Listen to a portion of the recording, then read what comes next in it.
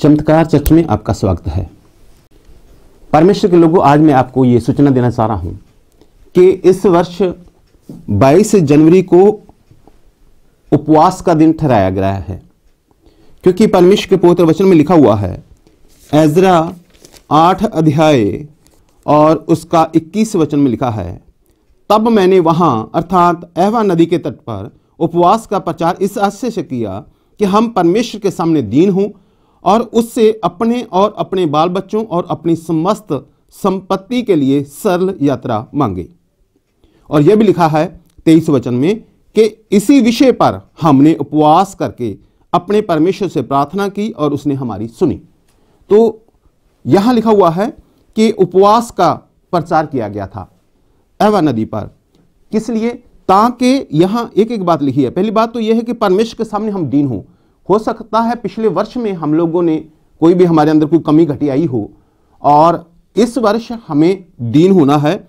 और मेन जो बात है, जिसके लिए मैं आपको उत्साहित करना चाहता हूँ कि आप प्रार्थना करें। और उससे अपने और अपने बाल बच्चों और अपनी संपत्ति के लिए सरल यात्रा मांगे।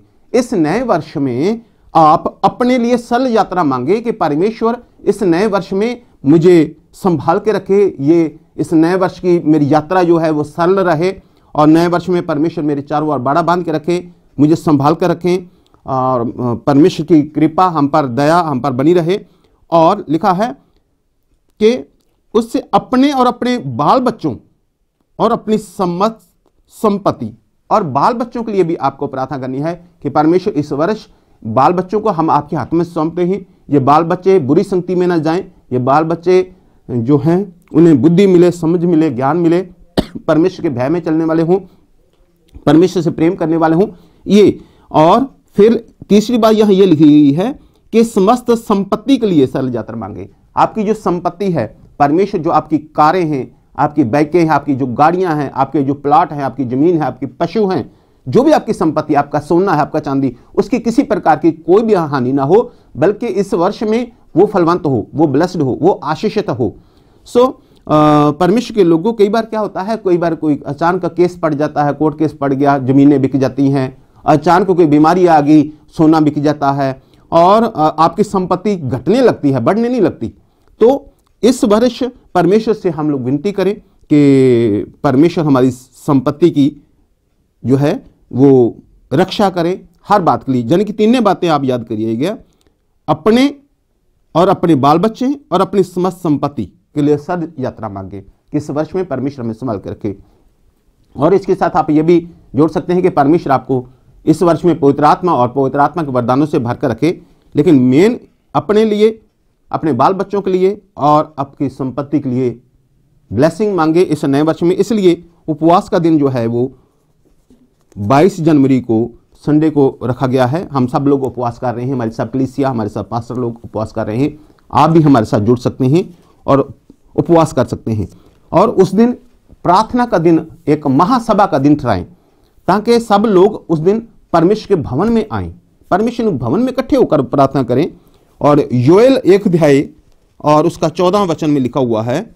योएल एक अध्याय और उसका चौदह वचन में लिखा हुआ है, उपवास का दिन ठहराओ।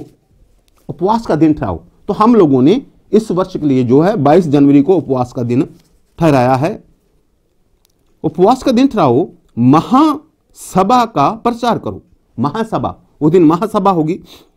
पूर्णियों को, वरना देश के सब रहने वालों को भी अपने परमेश्वर हुआ के भवन में इकट्ठा करके उसकी दुहाई दो। तो इस वर्ष ब्लेसिंग के लिए, हर तरह की आशयों के लिए, सरल यात्रा के लिए कि कोई भी आपको कठिनाई ना हो। जो पुर्णीय हैं, जो बुज़ुर्ग हैं जो बूढ़े हैं, वो और देश के बाकी सब लोग इकट्ठे हों परमेश्वर के पवित्र भवन में और परमेश्वर से उस दिन प्रार्थना करें। और फिर योएल दो अध्याय और उसका पंद्रह और सोलह वचन में लिखा हुआ है सियोन में नरसिंगा फूको, उपवास का दिन ठहराओ, उपवास का दिन ठहराओ। महासभा का प्रचार करो। सबको बताना है, महासभा का प्रचार करना भी इस दिन महासभा होगी। महासभा का प्रचार करो लोगों को इकट्ठा करो सभा को पवित्र करो पुर्णियों को बुला लो बच्चों और दूध पियों को भी इकट्ठा करो बच्चों और दूध पियों को भी इकट्ठा करो। आपको मालूम है भजन संहिता में लिखा हुआ है कि दूध पीते जो बच्चे हैं जब वो स्तुति करते हैं तो हम दुश्मनों के ऊपर विजय पाते हैं। सो so, बच्चों और दूध पियों को भी इकट्ठा करो दुल्हा अपनी कोठड़ी से और दुल्हन भी अपने कमरे से निकल आए।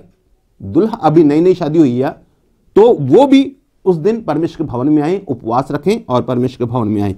सो so, 22 जनवरी को एतवार के दिन उपवास का दिन ठहराया गया है। महासभा का प्रचार करो सबको बोलो उस दिन उपवास रखें। और मेन प्रार्थना जो यही है अपने लिए अपने लिए करनी है प्रार्थना।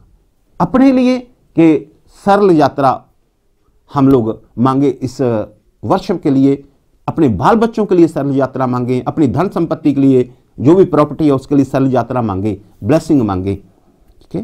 तो इसलिए आप भी ऐसा करें। हाँ, परमेश्वर आपको बहुत बहुत आशीष दे परमेश्वर आपके संग रहे। आमीन।